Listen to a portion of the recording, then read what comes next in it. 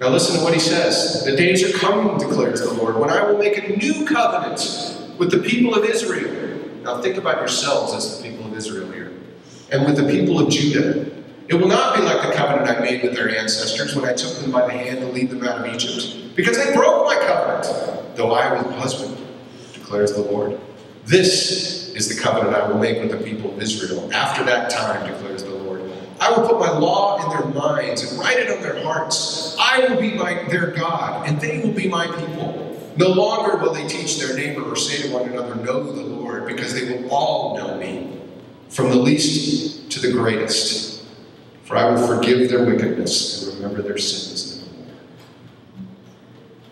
Now that's pretty good news.